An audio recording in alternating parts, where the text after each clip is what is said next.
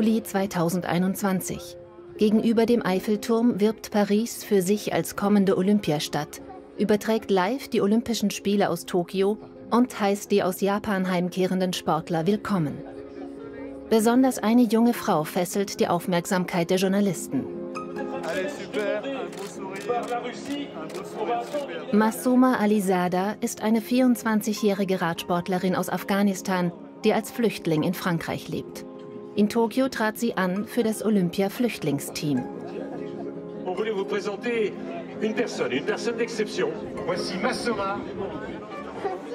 Massoma betritt die Bühne mit ihrem Trainer Thierry Communal.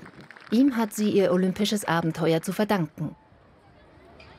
Comment décrire cette expérience olympique, tout d'abord, dans un premier temps En Afghanistan, moi, je voyais aucune possibilité d'arriver jusqu'aux Jeux Olympiques à cause de problèmes de sécurité. Je suis très, très content et maintenant, je me rends compte que tous les rêves, euh, sont réalisables. Wie hat es diese junge Frau, eine Angehörige der Minderheit der Hazara, geschafft? Die Geschichte beginnt im November 2015 in Kabul. Damals drehen wir eine Reportage über das afghanische Radrennteam, eine kleine Gruppe junger Frauen, die wir die kleinen Königinnen von Kabul taufen, mit Masoma als ihrer größten Hoffnung. Trainer dieses Teams ist Sadik Sadiki, ein ehemaliger Radsport-Champion. Masoma war 18, ihre Schwester Sarah 17 und sie sprachen noch kein Wort Französisch. Wir zeigten die Schwierigkeiten des Teams, das quer durch Kabul zu seinem Trainingsareal fuhr. Und wie sie angefeindet wurden in dieser von den Taliban vergifteten Gesellschaft.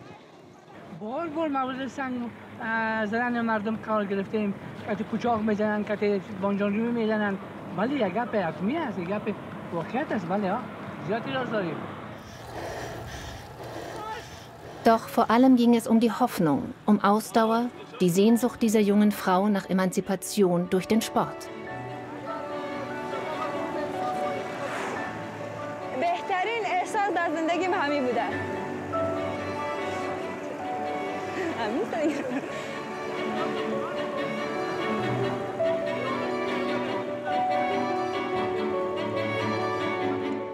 Après la diffusion du reportage euh, de la, les petites reines de Kaboul, euh, la secrétariat de l'ambassade de France, elle nous a vus par hasard. Elle a dit ah oui, j'ai vu, euh, j'ai vu votre reportage et tout. Elle nous invitait de venir en France pour participer à une course à Albi.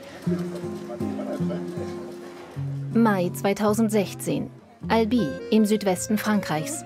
Dieses Rennen bietet Massoma auch die Gelegenheit, ihre Botschaft zu verkünden. Other girls that uh, give the courage and ride and bike in Afghanistan and be culture and normal in Afghanistan. Elles veulent finalement être le fer de lance des autres femmes d'Afghanistan pour qu'elles puissent faire elles aussi du vélo. Bravo. Bravo, merci beaucoup. 5, 4, 3, 2, 1, c'est parti. Ahnen Sie schon an dieser Startlinie, dass sich Ihr Leben von nun an ändern wird? Denn unter den Teilnehmern sind zwei passionierte Radfahrer. Patrick Communal, der hier filmt, und sein Sohn Thierry, der Massomas Traum von Olympia wahrmachen wird.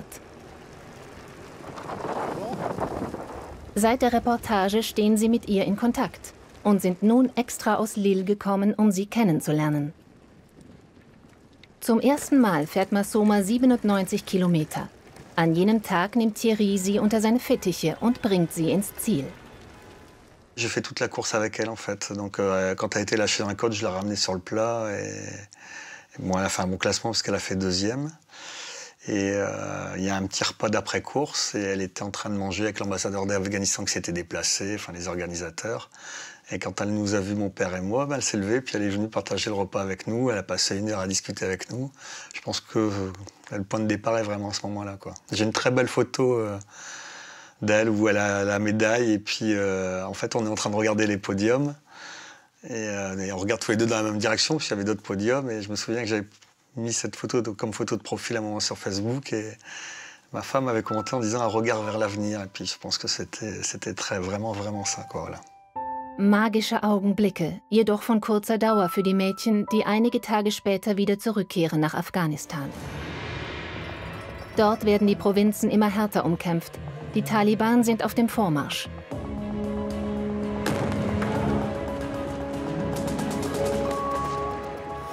In Kabul verbreiten Anschläge Angst und Schrecken. Am 20. Juni, einige Tage nach ihrer Rückkehr, sterben bei drei Anschlägen 25 Menschen. Tief in Sorge spricht Thierry mit seinem Vater Patrick, der versucht, sie nach Frankreich zu holen. Donc elles sont allées demander euh, un visa pour la France à l'ambassade. Et puis, euh, 3-4 jours après, euh, elle m'a dit qu'elle avait un, un, refus de visa.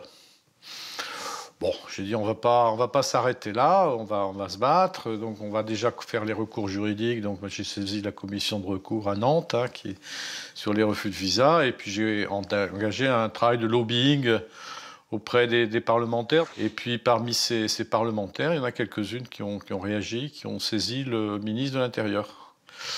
Et puis le, c'était le 8 juin, le, le, 8 mars, pardon, le 8 mars, le, le, une journée symbolique. Le, on a eu un, un, message du consul de France à Kaboul qui nous, qui nous a dit que la décision avait été revue et que le visa serait accordé. April 2017. Patrick hat Visa für die ganze Familie Alizada erhalten, sieben Personen. Die beiden Schwestern, ihre drei Brüder und ihre Eltern. Ah oui, ils sont là-bas avec les voiles bleues.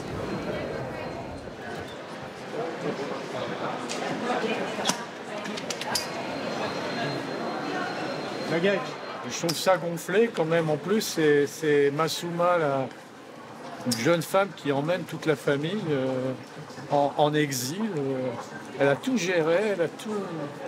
C'est elle qui a décidé C'est elle qui a décidé et c'est elle qui a tout géré avec moi, quoi, euh, en permanence et toute la famille a suivi. C'est assez impressionnant. Untergebracht werden sie in Geno, einem bretonischen Dorf. Alle dort wollen helfen. Et là, tout, tout, le voisinage s'est mis, on a été à banque alimentaire, les gens commençaient à leur faire des courses. Euh, ah ouais, on a reçu 26 cuisses de poulet halal. Euh, en fait, il y a une boucherie qui a bar en halal à, à 10 km de là, donc ils peuvent aller euh, chercher de la viande. On a reçu 26 cuisses de poulet halal avec le colis, le riz, le, les pâtes. Ouais, les gens, ils ont été sympas. Franchement, Hello. How are you? nice to meet you. Yeah. Hello.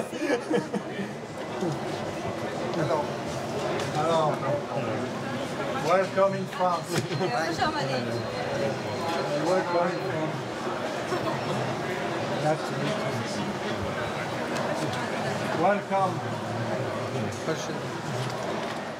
Nun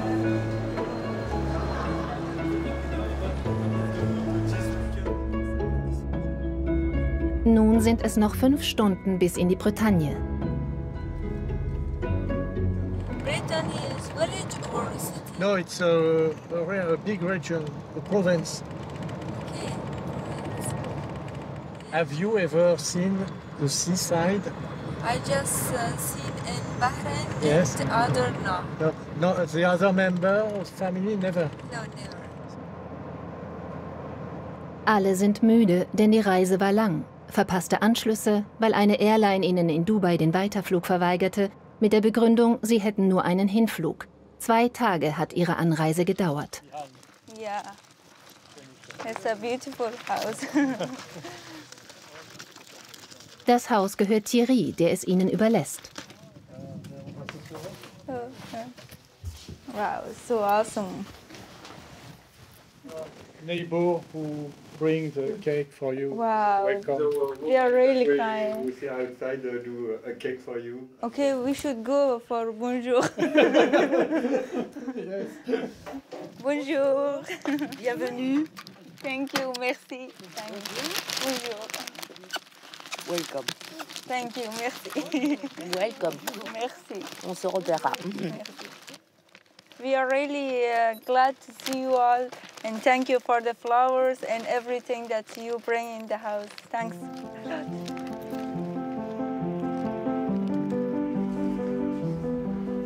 Bestens versorgt zieht die Familie ein. Das Glück hat ihnen auf ihrem Weg die beiden richtigen Förderer beiseite gestellt. Einen Radsporttrainer und Universitätsprofessor in Lille, der die Mädchen betreuen wird. Chicken. Good? Ja. Und der andere, ein Anwalt im Ruhestand. Er wird die Familie bei ihrem Asylverfahren betreuen. Die Bedingungen könnten nicht besser sein. Und die Familie bedankt sich.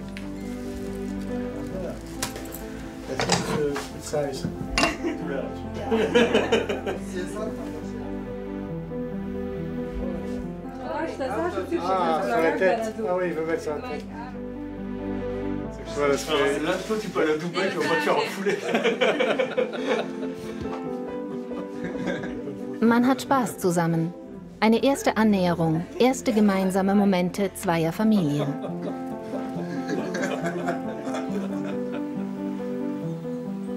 خانه چطوره زارا؟ بسیار خوبش است که تصور نمی کردیم که ما توی خانه و میاییم و بسیار جای خوبش است آه، پاتریک و خیلی زحمت کشیدن از نگاه تران به خاطر اینستال کردن ما از افغانستان تا فرانسه مهیا کردن. و زیاد زیاد تشکر می‌کنم ازشان. خب هرچند که مثلا افغانستان نرچینه باشه کشور ما ما کشور خود دوست دارم. و ای که یعنی آدم کشور خود ترک کنه به کشور دیگه بیه واقعا سخت است. مگر من مطمئن هستم که من در فرانسه می‌تونم زیاد پیشرفت کنم به خاطر که من اینجا خیلی نفرا می‌شناسم مردمش می‌شناسم. Trotz alledem bleibt es eine schwere Entscheidung, seine Heimat zu verlassen, um sicher leben zu können. Und da ist noch die Familie. Eine Schwester und ihre zwei Kinder blieben in Afghanistan.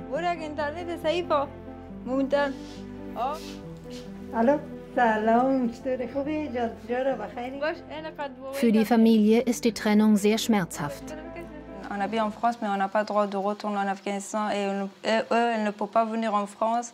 C'est la situation compliquée pour nous parce qu'on ne sait jamais euh, quand on peut euh, revoir. euh, Et c'est ça qui est triste pour nous et pour eux aussi.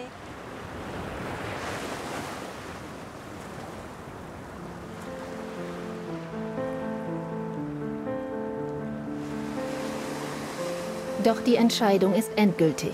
Nun gilt es, sich ein neues Leben aufzubauen.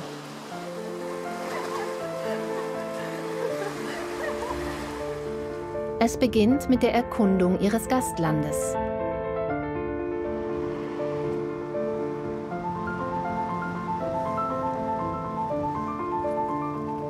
I heard about uh, Eiffel Tower more and more in tel- television, internet, books.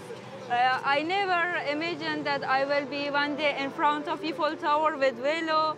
And uh, it's really amazing, unbelievable, unbelievable for me that I'm here with Velo and see Eiffel Tower.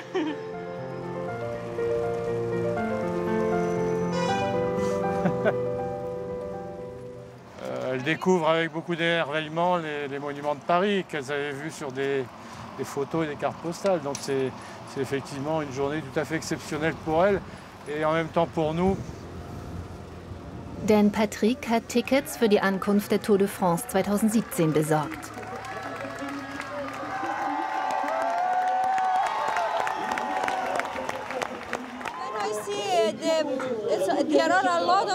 That they are waiting and they they really uh, uh, like to see Tour de France and the riders. I persuade to continue uh, strongly and to be like these riders. And one day, people waiting for uh, me and the other riders uh, to pass and they win the race.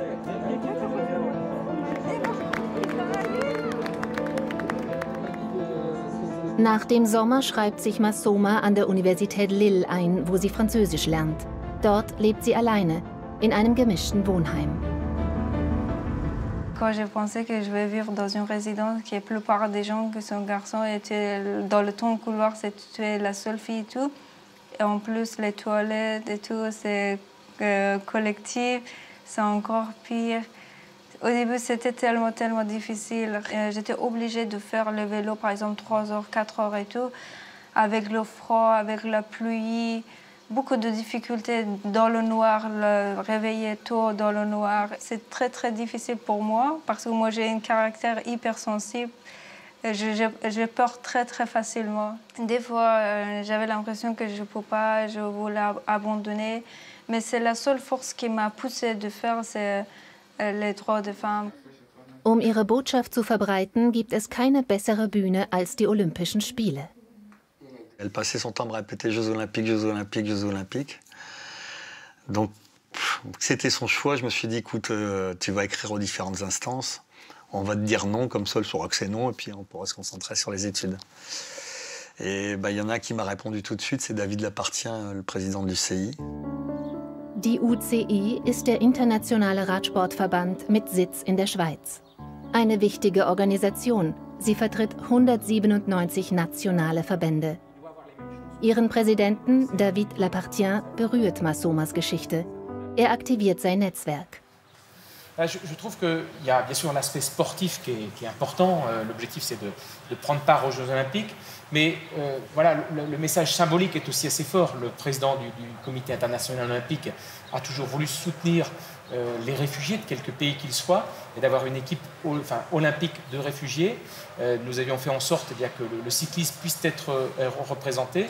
Et je trouve que d'avoir Massoma en tant que, femme, que femme afghane dans un pays où c'est compliqué, eh c'est un, un Message aussi d'espoir, je trouve, extraordinaire. Er vermittelt Thierry an den Verantwortlichen des Fonds für olympische Solidarität. Nach den Spielen in Rio haben sie dort ein olympisches Stipendienprogramm für Flüchtlingssportler aufgelegt. Das Verfahren ist lang, doch Thierry lässt nicht locker. Im Oktober 2019 wird Massoma Olympiastipendiatin. 1500 Euro pro Monat für ihr Sportprojekt. Die Tür öffnet sich zu den Olympischen Spielen. Il y a phrase euh, dans ma langue maternelle, on dit que derrière euh, un homme qui a eu euh, réussi, qui a succès, succès, il y a une femme. Moi, j'ai dit, si un jour je réussis, il y avait un groupe des hommes derrière moi. C'est beau. La vie est beau. La vie est belle.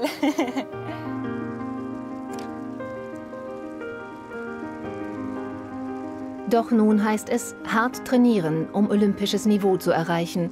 Denn so weit ist sie noch nicht. 56 Olympiastipendiaten gibt es, nur 29 werden nach Tokio fliegen.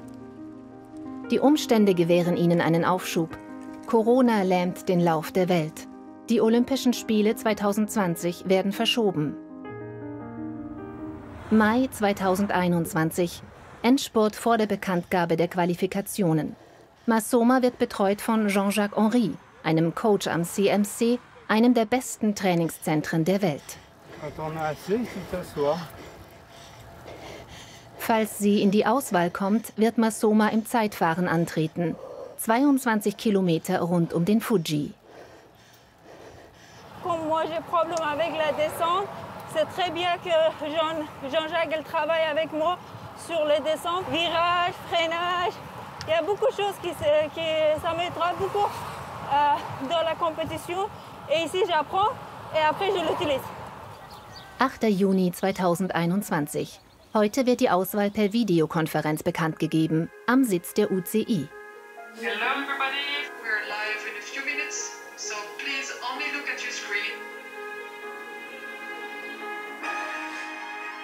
And now it's my privilege uh, to announce uh, the athletes of uh, the IOC Refugee Olympic Team Tokyo 2020.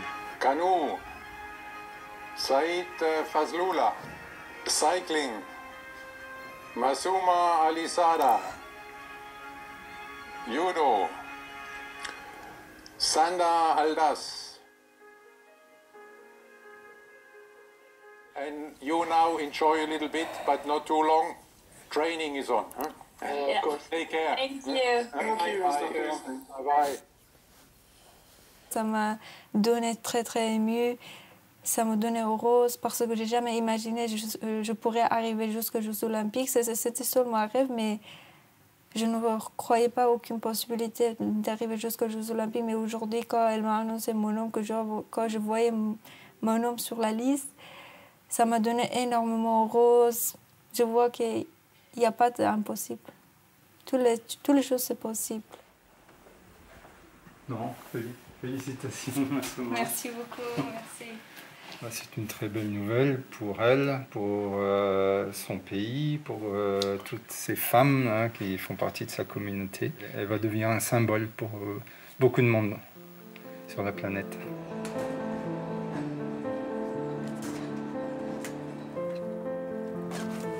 Einen Monat später bringt Jean-Jacques Massoma zum Zürcher Flughafen. Nach einigen Tagen Zwischenstopp in Katar geht es weiter nach Tokio. Freuen kann sie sich jedoch noch nicht. Massoma hat Angst. Moi, j'aime pas mon caractère parce que j'inquiète beaucoup. Et ça, j'aime pas du tout, mais je peux pas le contrôler. Bon, C'est pour ça qu'il y a un encadrement. Nous, notre travail, c'est de aussi libérer l'esprit de l'athlète. Oui, moi, j'étais pas comme ça quand j'étais dans mon pays, mais quand je suis arrivée en France, moi, j'étais la personne qui parlait anglais. J'étais quand même, par exemple, la responsable de famille. On a beaucoup d'athlètes au centre, comme toi, hein, qui s'occupent de la famille. Ça les fait grandir vite. hein. Moi, j'aimerais bien de retourner dans le même esprit que j'avais en Afghanistan. Bei ihrer Ankunft war sie erst 21, sehr jung, wenn man sich um die ganze Familie kümmern muss, um die Verantwortung für deren Leben in Frankreich zu tragen.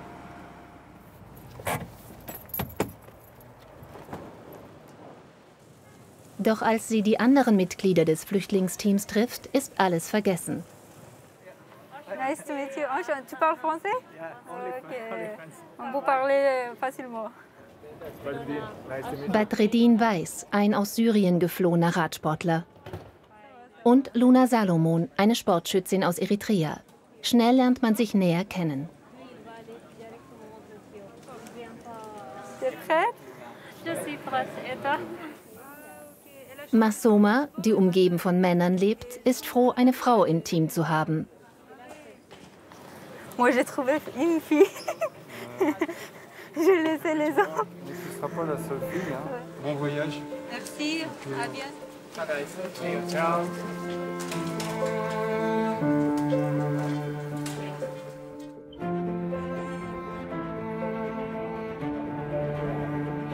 – 19. Juli. Das zweite Flüchtlingsteam der Geschichte landet in Tokio.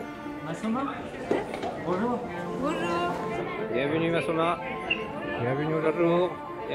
Thierry trifft Massoma bei der Zwischenlandung in Doha wieder. Aujourd'hui, je suis à Tokyo et dans quelques jours, j'aurai, hum, je vais participer aux Jeux Olympiques. Du coup, c'est c'est vraiment euh, un changement que de l'Afghanistan jusqu'à Tokyo. C'est incroyable. Je ne peux pas exprimer dans les mots. On commence vraiment à être dans l'ambiance. Et donc euh, voilà, on a hâte euh, d'être au village et puis euh, de monter en puissance pour, pour l'épreuve qui se déroulera le 28. Für uns sind es die letzten Augenblicke mit Ihnen in Tokio. Wegen der strikten Senderechte des IOC dürfen wir in den olympischen Bereichen von nun an nicht mehr drehen. Auch die Hygienemaßnahmen sind drastisch. Die Wettkämpfe finden ohne Publikum statt. Die Sportler werden in einem eigenen Bereich wohnen, getrennt von der Bevölkerung. Die Maßnahmen der Regierung sind eine Reaktion auf die vielen Demonstrationen von Teilen der Bevölkerung, die angesichts des starken Anstiegs der Corona-Infektionen beunruhigt ist über die Ankunft von 11.000 Athleten und deren Betreuern. Immerhin gut 75.000 Menschen. 23. Juli. Am Abend der Eröffnungszeremonie freuen sich alle.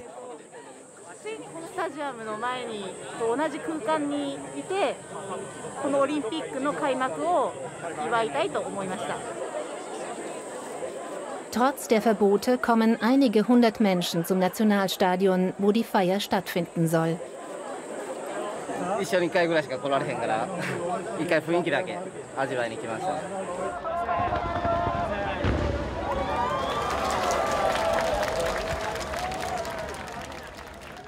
Im Stadion zieht das olympische Flüchtlingsteam ein, als Symbol des olympischen Geistes, an zweiter Position gleich hinter Griechenland. Masoma läuft ganz vorne mit. Pour moi, c'était le moment le, le plus émouvant.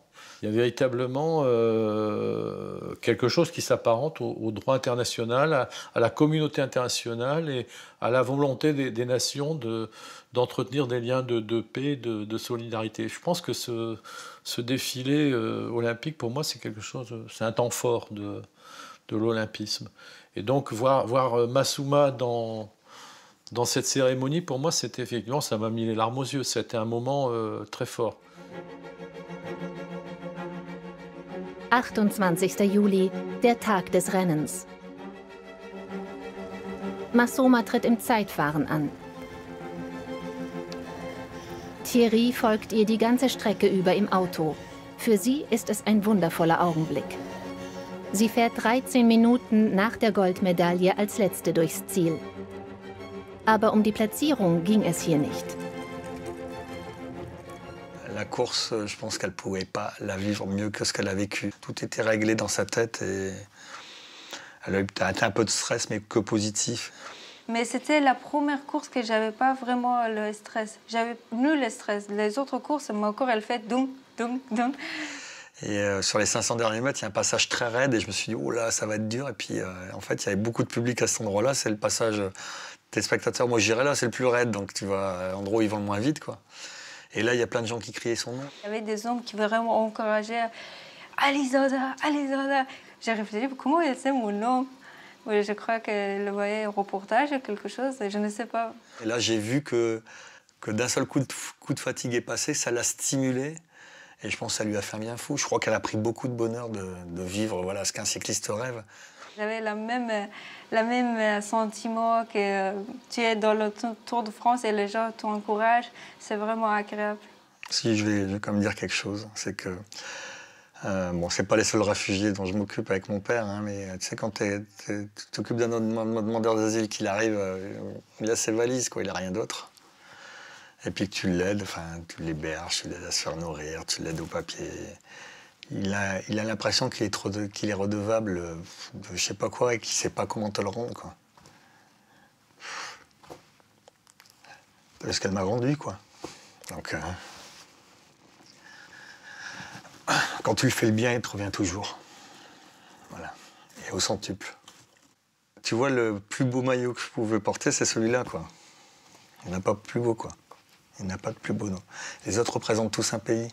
Là, ça représente la solidarité, quoi. De ceux qui n'ont pas de pays, quoi.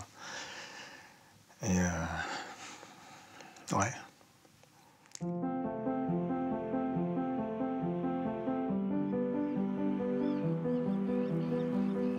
Nach Tokio fährt Masoma nach Orléans, wo ihre Eltern leben. Wegen ihres Studiums als Bauingenieurin und all dem Training hat sie sie monatelang nicht gesehen. Auch Patrick lebt dort und besucht sie bei der Gelegenheit. Bonjour Massouma, ça fait vraiment très plaisir de te revoir. Tu nous as donné des émotions et des belles émotions. Bonjour, ça va Alors, fier de sa fille Oui, hein. Si vous Ouais, on va s'asseoir, allez. Des fois, je que... Oh, merci. Elle m'a ramené les cadeaux. Le t-shirt de, l'équipe. Mais tu mets un petit message euh, en Dari, si tu veux. Hein Avec la signature.